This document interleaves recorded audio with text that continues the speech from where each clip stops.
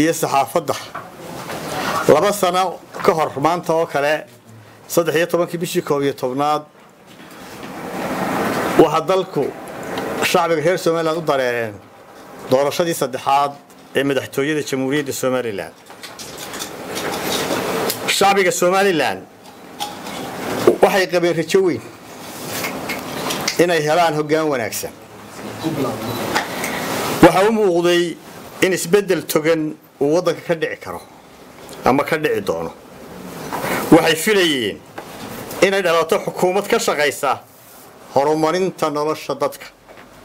Xukuumad ka shaqaysa jihaynta iyo shaqogelinta dhallinyarada. Waxay filayeen xukuumad ka shaqaysa xoojinta dimuqraadiyadda iyo aqoonsi raadinta jamhuuriyadda somalilan iyo xukuumad ka shaqaysa.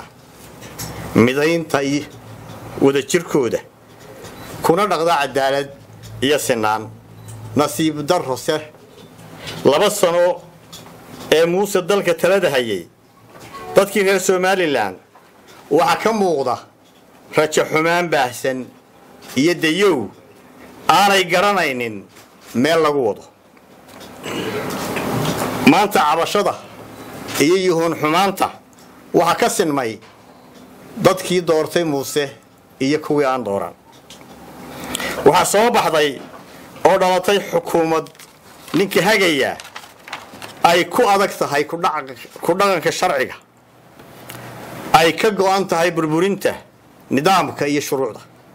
Walaalayaal baadisoocda ama sumadda hoggaaminta muuse laba sano ee uu xilka hayay waxay noqotay sidan kow kala qaybinta iyo kala irdhaynta shacbiga reer somalilan halkii uu ka midayn lahaa.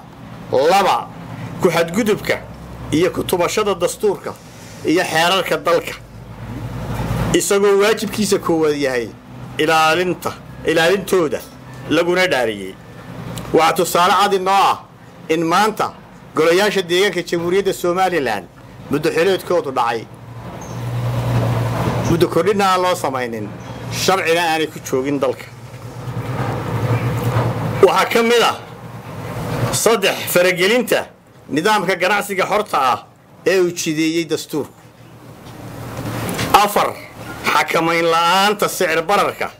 Xadhkaha goostay ee ragaadiyey dhammaan nolosha shacbiga reer somalilan hoosu dhaca weyn iyo debaca ku yimid amniga gudaha taasoo sababtay inay ka dilaacaan markii ugu horraysay jabhado gudaha somalilan xisbiga waddani horuu u cambaareeyey jabhadaha ka samaysmay dalka gudihiisa. Mar labaadna waanu cambaaranaynaa u adeegsiga shan sorry lix u adeegsiga awoodda qaranka dana shakhsi ah oo ay ka mid yihiin dhulboob iyo ganacsi gaar ah.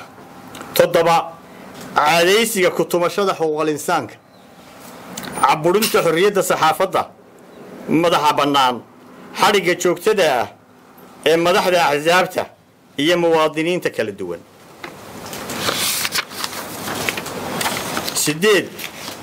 baahsanaanta maamul xumada iyo musuq maasaqa maamulkiisa ka jira. Inay luntay sagaal kalsoonidii beesha caalamka ee dalkani ka sugayey ictiraafka. Toban meyd maxaa u dambeeyey iyo kaa la sii sido? Waxaynu shalay dhammaanteen goobjoog u ahayn oo aynu indhaheenna ku arkaynay in hannaankii dimuqraadiyadda iyo rajada doorashada somalilan halcad lagu gowracay horteenna iyo sida sayladda uga dhigeen golihii wakiilada somalilan dhacdooyinkaas oo dhammi iyo qaar kale oo badan waxay tilmaan xun u yihiin hoggaaminta muuse biixi ee saluugga salfudaydka iyo canaadka aan qiimaha ku fadhiyin isugu soo biyashubatay isla markaana marag cad u yihiin talaxumada hoggaanka maanta jira. Haddii aynu sidaa ku sii soconno waxaa jiritaanka somalilan laga dooni doonaa iyo qarannimadeeda meel fog ilaahayse kama dhigo. Walaalayaal haddii aan u soo noqonno ceebtii iyo foolxumadii shalay dhacday ee ahayd inqilaabkii golaha iyo afduubkii sharci ee la sheegtay in lagu ansixiyey xubnihii xeerka xaaraantinimeeyey ka mid noqoshadooda komishanka doorashooyinka qaranka. Waxaan mar labaad ummadda u xaqiijinayaa in xisbiga waddani aanu si aan ka noqosho lahayn u qaadacay la shaqaynta iyo ka mid noqoshada xubnaha la sheegay in la ansixiyey. Xisbiguna diyaaruma aha inuu xalaaleeyo ama jideeyo?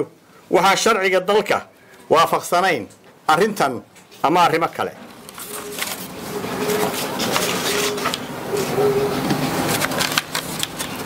Waxaan ummadda u sheegayaa kow mar haddii aanu muuse xeer iyo xaagaantoona dhowrayn oo aanu uu distoorku kow ka yahay mar haddii uu fulin waayey heshiiskii uu la galay axsaabta qaranka ee beesha caalamku goobjoogga ka ahayd oo aanu jirin dabar xidhayaaba.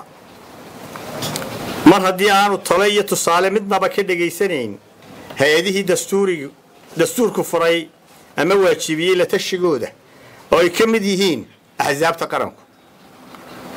Mar haddii uu ka baydhay habkii wadatashiga iyo dimuquraadiyadda ee qarankani ku dhisnaa mar haddii uu dhaqan iyo yool ka dhigtay kala qaybinta iyo kala irraynta bulshada reer somalilan ee midka ahayd waxaannu muuse xasuusinaynaa inaanu dalkan xoog ku qabsan kuna haysan karin.